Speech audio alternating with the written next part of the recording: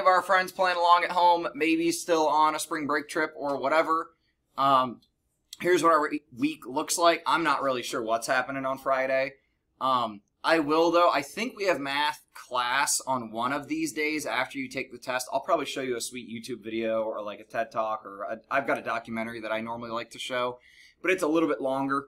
Um, so I don't know if we'll get into that yet or not. But yeah, OST review today, tomorrow. So in foundations today, you're going to be asked to do the OST practice test, which when you go to the ODE website, you'll hit like the practice site, and I, I think they have the link on somebody's Schoology or on the Foundation Schoology. Um, we'll be running an actual practice session, but I want to let you guys see like kind of behind the um, start a new session now.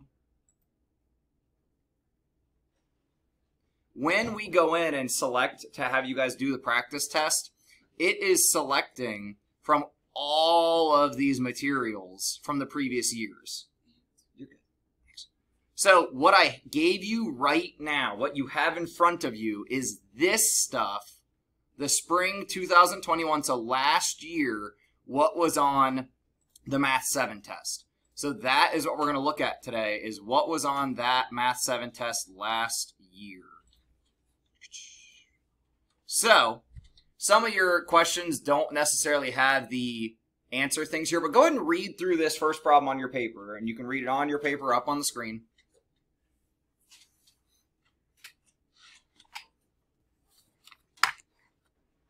And then look at those dot plots. I don't know, man. That was so long ago. Uh, Roman skit? No, that was old. I don't know. Yeah, we did the canteen. I think we just did more like angles or circles stuff. I forget exactly what we did in math class. I could go check the YouTube video. I bet it's there. Yeah, we were getting ready for break. All right, but that doesn't matter because now we're talking about this. Anyone want to take a risk and tell me what they think about the change in this data? Make sure that you read the names of the graphs. So what's the graph on the left side different than the one on the right side? Aiden? Before and after Before and after. Um, training, right? Yeah, they're training. So it's lap before training and after training. So what do you notice about the cluster of data points here? Like what's the lowest, what's the highest? It's like 48 to 61, right? So guys, or yeah, because it's counting by twos, right? So let's, if you don't have a highlighter, go grab one. You can take the entire cup up front. It looks like only one group hasn't done it yet. Well, let's like go ahead and, and on the test, there are highlighter tools also. So I'm kind of, kind of box my things out at the bottom and the top. But then over here, 38 up to 52. Well, guys, if you're trying to do like a competitive sport, do you want your time to be more or less? You want your time to be less, right? You want a lower time because that means you're faster. So then the options that we get here in this answer part, a blank overlap. Well, do they have a small overlap or a large overlap? What values overlap here? Yeah, if we kind of zoom down in on it, I've got 48 to 52 here, and my 48, my minimum from my other set, is right here, right? This is where the minimum from the lower set was. So this is our overlap. Do you think that's a small amount of overlap or a big amount? Small, right? The only overlap would be between 48 and 52. This is pretty small. So we would probably say a small overlap between the distributions indicates that after one month of training, what happened with the time it took the students? Did it increase or decrease? Decrease. I think there was a pretty substantial change, right? I mean, you shaved seconds off your time. So we would probably say a significant decrease because like all of these points, all seven of these are lower than the original data. All seven of those are lower. So it doesn't make sense why we would answer this with something like there's a small overlap, which means the training did help, right? The training took our times and moved them all down, made us faster. Does that make sense? Go ahead and read the next one. What is the product? Read that on your own, see if you can figure it out without any help from me. Remember, you guys are welcome to pass. But I'm going to shuffle up and then probably put a post-it and start our deal again. Marina, what does product ask us to do? Yeah, so when they ask us product, we are multiplying our two numbers. Guys, what's a negative times a negative? A positive. So on our paper, because guys, we can make notes on here.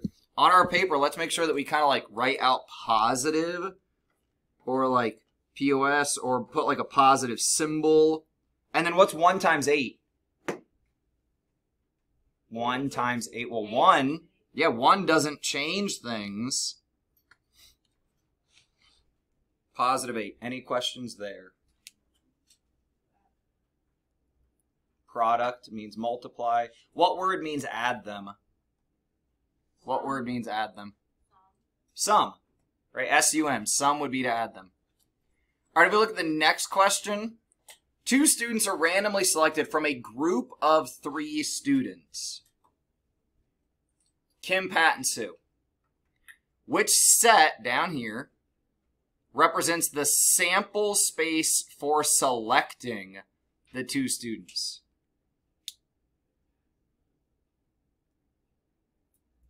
So what is sample space?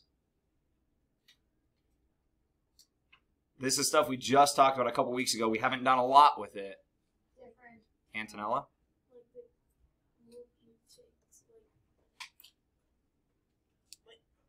So when we talked about this, when we talked about Phoenix as our population, and we said you guys might be our sample space, might be who.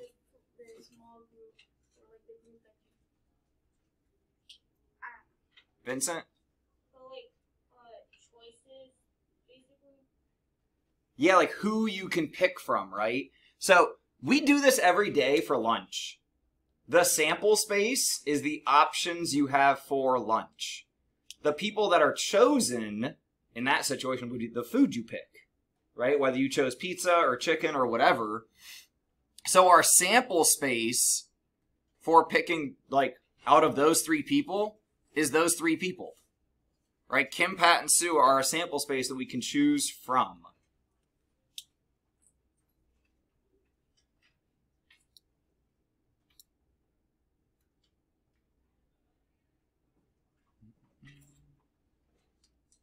Um, Kim Pat, Kim Sue, Pat Sue. Does D do something extra? Kim Pat, Kim Sue, Pat Sue. Sue and Kim already happened, right? So these are all the different two groups that you could make. There are three different groups. Yeah, because two, two, and two. Right? This is like A, B, A, C, B, C, right? Matching up three different people. Excuse me, could I please have Max carry me into the office for a moment? Max, please come to the Perry office for a moment. Thank you. So I might double check on this one. I believe it's A, the options that you could get, the different groups that you might pick are C. We'll circle back to this one tomorrow. I'll put a little question mark next to it. This is my first time going over this because this just got released this year.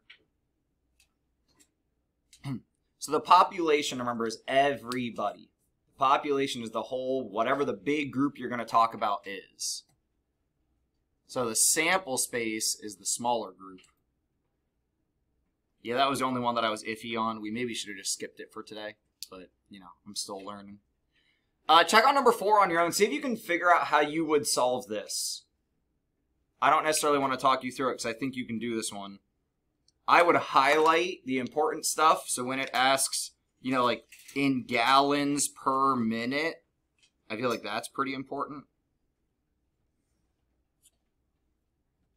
Gallons per minute. Anyone feeling like they want to help me on this? And guys, one day of the test will be without a calculator, but if you are allowed to use a calculator, there will be one up here in the options. So this one is not a calculator question. This is one that we're expected to be able to do on our own without a calculator.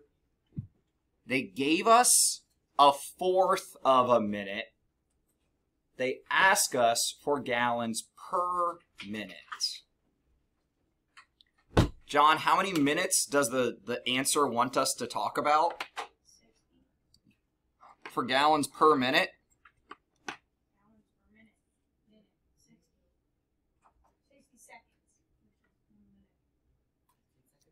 So go ahead, like, if you're taking that route, explain it to us. You're right with what you're saying, but you need to explain it to people. you do. I think you just tripped up on your words. So John is looking at a minute. So one minute is 60 seconds. If they give us a fourth of a minute, you can think of it like how many seconds? How many seconds would be in a fourth of a minute? 15, right? So John could go from 15 seconds to 60 seconds, but I honestly think it's a bit easier to just try to go from a fourth of a minute to how much of a minute? A whole thing. So to go to one minute, how do I go from one fourth to one? Times four. So the amount of water is going to have to have a times four happen. So guys, this is exactly like, you should have graph paper out. If you don't, I, I, I'm confused. If we set up three eighths of a gallon over one fourth of a minute. And we said that's proportional. That will do. We did this problem with a pool. Like really recently, we talked about filling up a pool. And when it was like one fourth of the way full. So if I try to go from one fourth of a minute to one whole minute, that is a times four. Now be careful when we do this multiplication. We're only going to multiply the numerator. We keep that 8 in the denominator. So what's 3 times 4? 12. So we get 12 eighths. Can 12 eighths be reduced? Yeah, Lucas? Yeah, that's one and a half. Right, so that is really one and a half gallons per minute. Because it's gallons over one minute, so gallons per minute.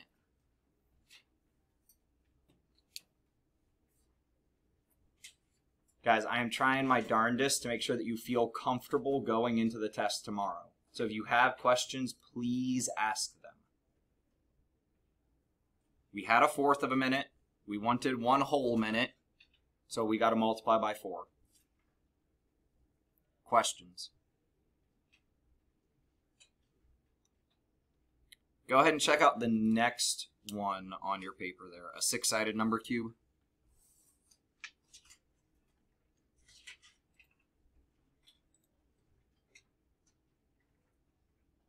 Oh, I go out of order. We're going to do the number cube one first, though, because it is next on your paper. We're going to go in order of your paper. It's really the easiest way for me to say that. Mia, what is our general chance of rolling a 5?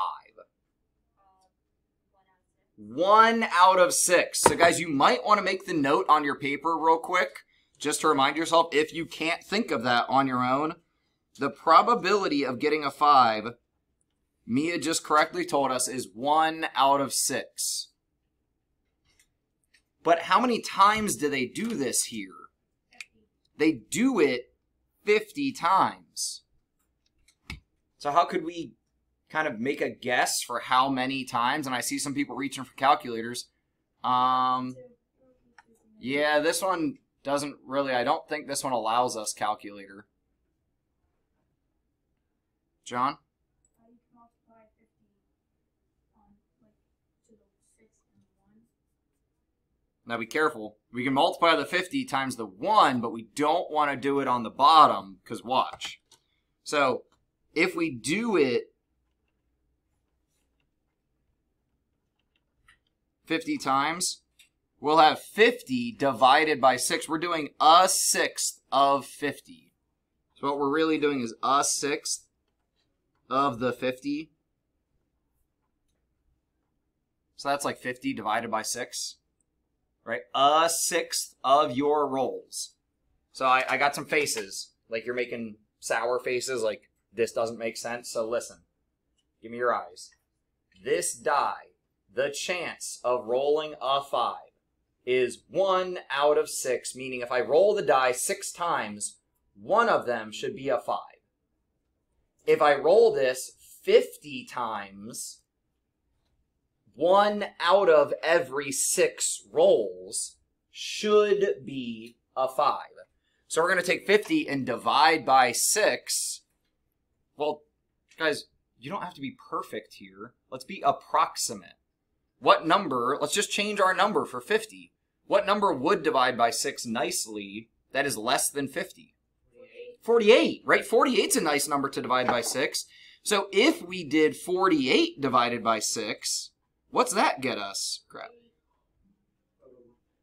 So this is going to be approximately 8, a little bit more, right? A little bit more than 8, because 48 divided by 6 is nice.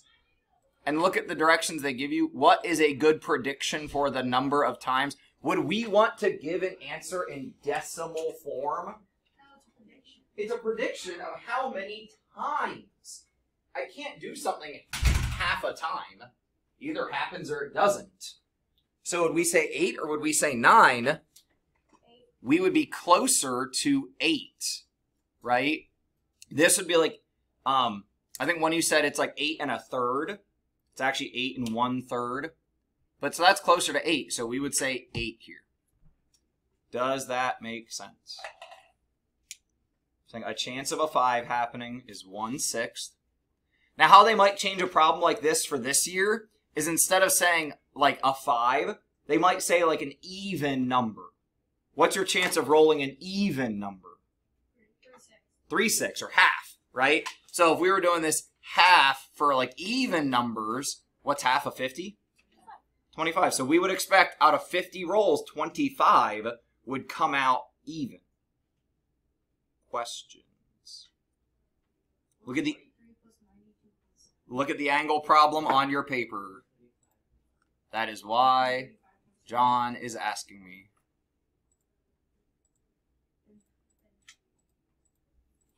Crap, I lost it. I put some of these out of order to fit on the paper nicer. 180 minus 135 plus Ah, whatever. It's here somewhere. Alright, there we go. It's all the way. This was question 20. How many degrees does a straight line have? 180. 180. So we're going to take 180, Do they give you a subtract away. They do give us a calculator here. Subtract away 135.7. So we could do 180, take away that 43, and 92.7. Right? So we want to put those angles together. These are the two angles they gave us. And you could just write this down on your paper if you want. Those are the two angles they gave us. We need to subtract both of those away. Should be 44.3. And there we would not want to round because they're using decimal numbers for this angle size. Yeah, it is similar to like a triangle. All right, cool. Let's flip to the. By the way, guys, any problems that you don't answer will be marked with like little caution triangle things. You can always go back to these questions. This one's kind of weird, so I want you to take a moment, read it, and think about it on your own.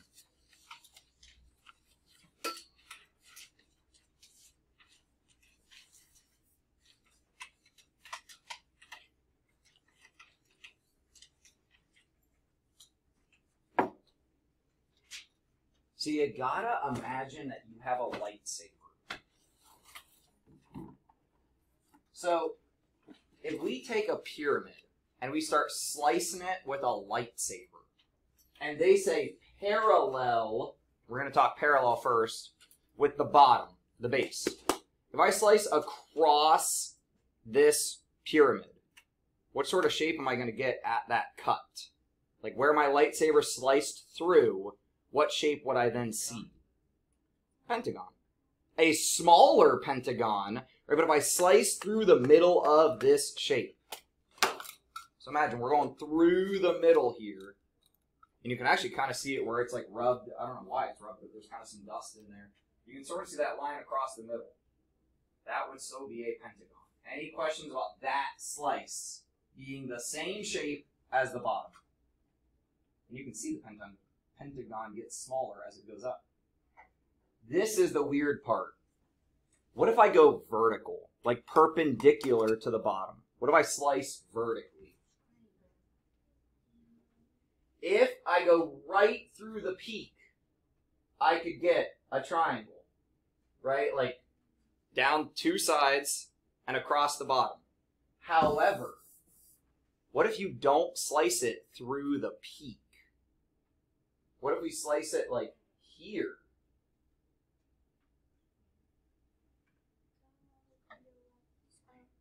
That is a trapezoid. This is one of the weirdest things that I have to try to communicate to seventh graders, and this is why I wish I could just bring my saws in. Right? Give me a pyramid, put it on the saw, boom, just cut, like literally just cut off a side of it, and you could open it and see, oh, hey, look, there's a trapezoid if I cut down this side. Because imagine with me, um, I really need like a colored piece of paper. This might work. If I cut through the side, like look through the clear part and see the ruler, but then if I turned it this way, it'd get wider at the bottom. Right? Like that cut is narrower at the top, wider at the bottom. That's a trapezoid. If I draw this on the front face, so I cut through right here, I follow down, come across and follow down, that more looks like a trapezoid, right? Flat top, flat bottom, angled sides, trapezoid. So pentagon would be across, triangle would be straight through the top, trapezoid would be straight down, not through the top. But the, if you cut it like right through the like in the middle, it wouldn't like like that. The bottom wouldn't be a rectangle. I mean a triangle. The, right, so like here, this gets us a trapezoid if we don't hit the top. No, I mean if you cut it like this. You mean diagonal? No, the, Like through Yeah. here, down to here? no, like right in the middle. Yeah, basically. The the bottom, like the base, it's not. It wouldn't be a So the shape that we cut, if I went through the top of here, would be a triangle that would look similar to this triangle. It'd look really close. It'd be a tiny bit bigger, actually. Um, or no, a tiny bit smaller. Sorry, but if we cut straight through the bottom, we'd come straight across, and it would have two points at somewhere. Like maybe these, if we make the biggest triangle possible, and then you'd ride down this front fold and down the back side. But whether we're on a fold or a face doesn't matter. It'll trace out a triangle. So I don't know if this will help at all. If I went down that back dotted line, that fold, up to the front, which now this is really hard to see, and right here, that's a triangle, but it's really hard to see because we're on a flat screen, right? It's not three dimensions. 3D shapes are weird, so just think about lightsabers. Or some people teach it like if you if this was butter, anyone like eat butter yesterday at Easter dinner or whatever. If this was butter and you took a hot knife, like a lightsaber, you took a hot knife, cut your butter, what would you see at that cut? I know you're all like, why is he talking about butter? I mean, I would probably rather that be a pyramid of cheese because I love cheese. All right. Um. Proportional relationship. We know this because two things, and you should write these down right now. What are the two things that makes us know that this is proportional? I mean, it tells us, but what two things do we see on the graph? Zero, zero. So let's write that down first. We see our zero, zero point. And what else? It's a straight line.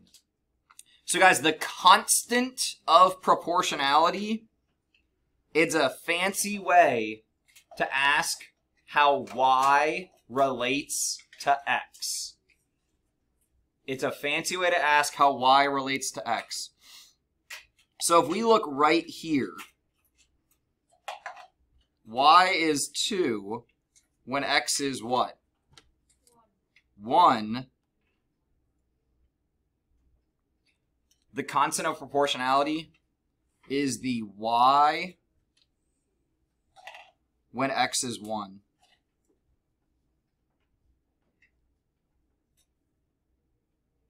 So the constant of proportionality is the y when x is 1. So here, that value is 2. Because y is 2 when x is 1.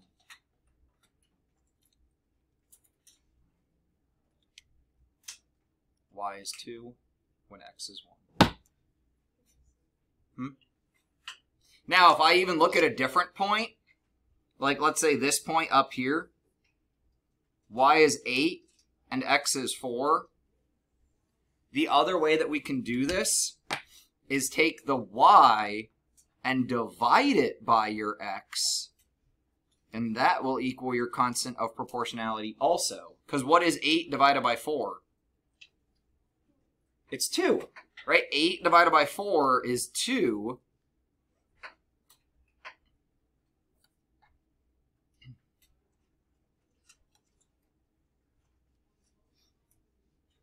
So our constant of proportionality here is 2. Questions? Go ahead and read the next one on your own about candy. We'll move away from butter and talk about candy for a minute.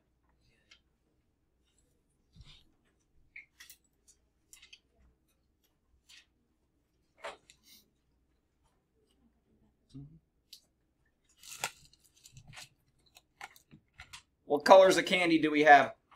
Red, blue, green, yellow. Red, blue, green, yellow. Guys, I can see that some of you are not even looking at the right page because I can see that your hole punches. Um, ah, never mind. Your guys' are flipped from mine. Please make sure that you're reading this and you're not like waiting for somebody to do it for you. So if you hadn't already read blue, red, green, and yellow, read that now and then let's go ahead and highlight that. Blue, red, green, yellow. What else is important in this setup? Yeah, equal number of each color. Same size, so we can't tell them apart. If I just reach into the bag, they all feel the same.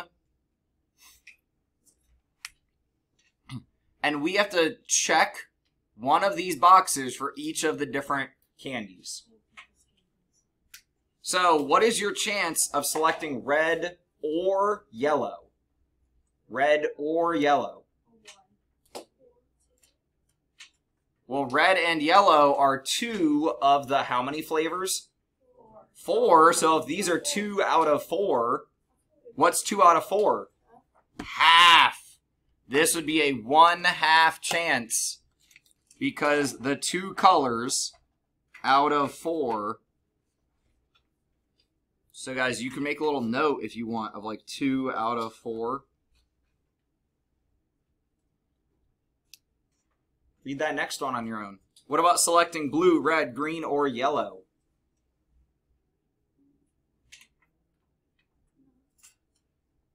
Are there any colors that we left out? Blue, red, green, yellow, blue, red, green, yellow.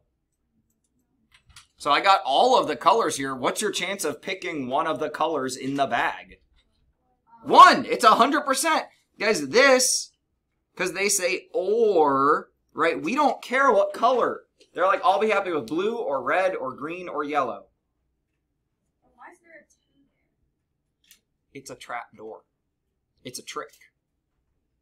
It's there to mess with you. Seriously. I am sorry. I don't make these tests. It's there to mess with you. We'll get to another problem where I just think it's mean. They make you convert for no reason. And I was complaining. Some of you heard me this morning. I was complaining to Mr. Shoop out in the library. I'm like, this is just rude. But that's why I'm trying to prep you. I'm trying to prepare you for these traps. What's the chance of a yellow? Or yellow. Purple. Sorry, purple. There are no purple. So that's zero. You can't say unless, right? There's no there's no saying unless. This is the test we've been given. Which expression is equivalent to negative 7? I want you to try this on your own for a moment. Which, does it say that it could be multiple? No, it says which. Which one? Right? Which expression? You would not have a calculator for this.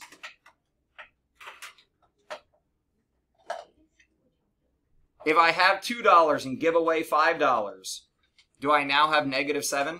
Nope. No, because I started positive.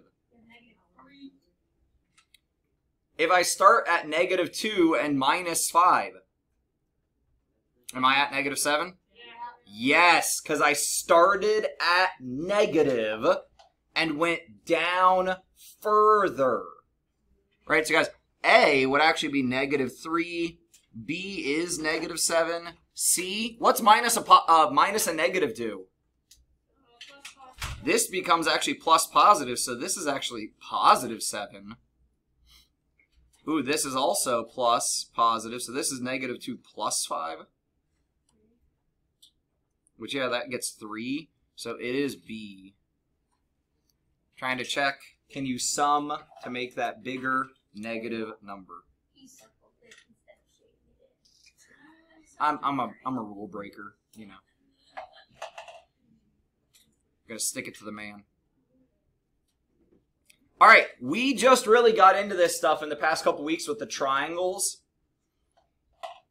If one side is four inches, another side is seven inches, right? So this is like when we were talking with this guy. If one of these is four and one of them is seven, right? Would three, because four, seven, would three make a triangle? No. Three would not make a triangle because we have to lift it up. So what length could I have if this is seven and this is four? Well, guys, one good default.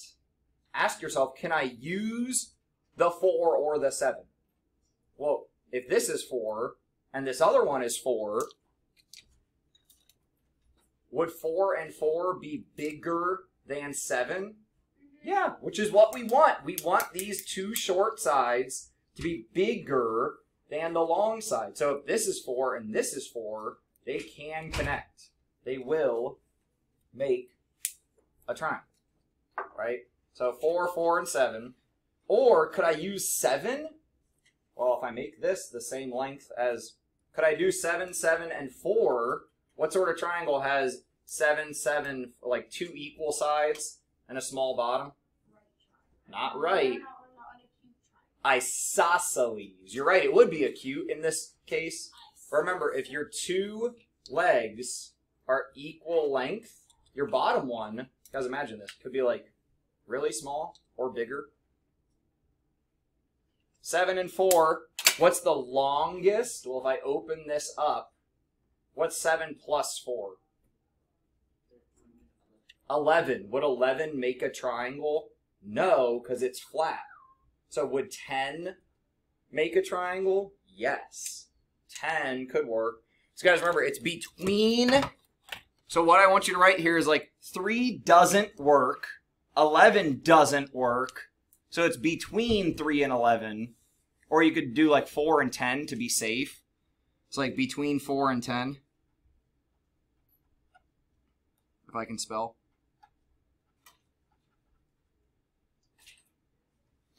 It's really, the side needs to be bigger than 3 and smaller than 11. needs to be bigger than 3, smaller than 11.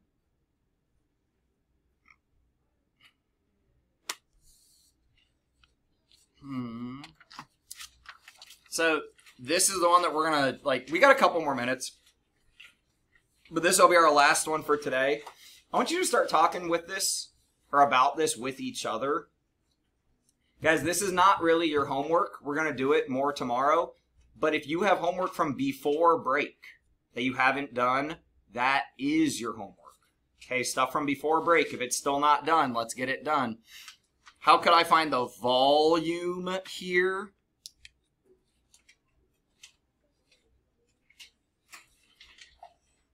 How do we find volume here?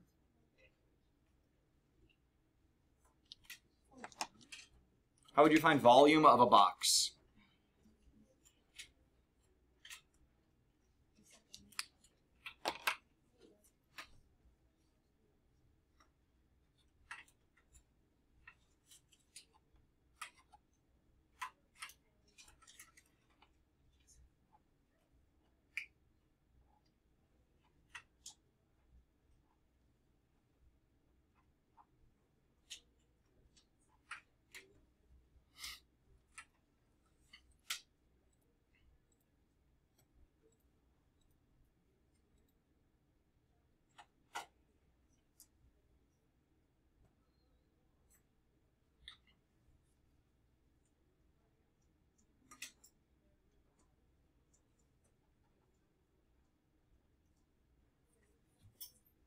Here's why this problem's mean.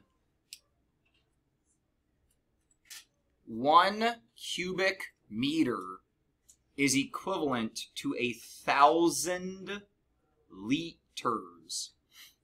Guys, if you set up this multiplication, 0.3 times 1.1 times 0.4, you'll get point, like 0.132.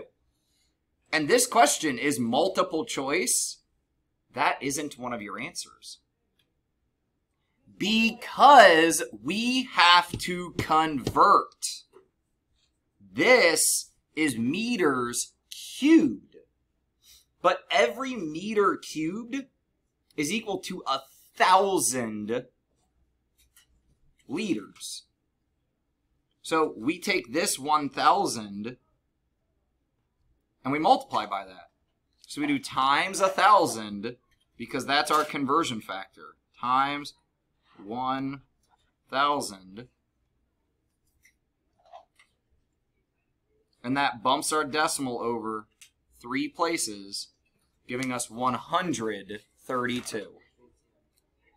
And now we are out of time for today.